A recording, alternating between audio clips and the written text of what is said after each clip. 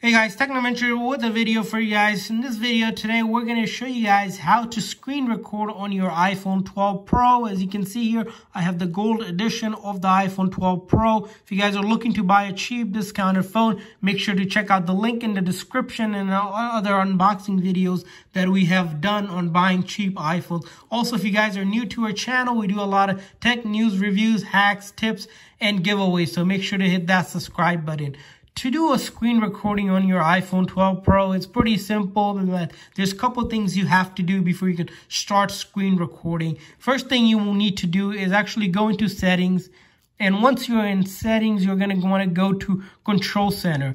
In the control center, you'll notice there are a couple of options that are selected by default. You have flashlight, timer, calculator, and camera. What that is, is this control center that pops up from the top here. As you can see, these are the options currently available. You have the flashlight, timer, calculator, and your camera. And you can add more to the list here by selecting the plus button.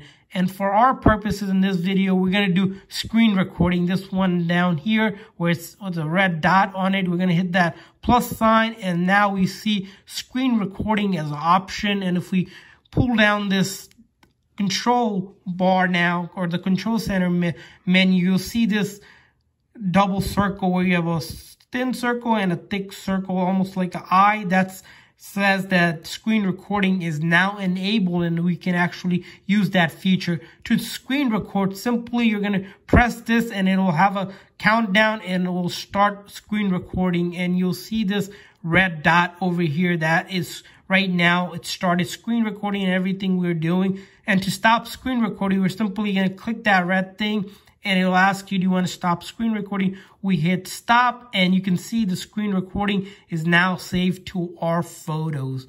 And then the next thing you want to show you guys is screen recording with and without the mic. If you hold and press down on screen recording, you'll notice this option where it says either mic on or off. So depending on if you want the mic on when you're talking or not, you can toggle this button on and off. As you can see right now, it's on. And if this deselected, it's off, on and off. So you can do that and you can hit record.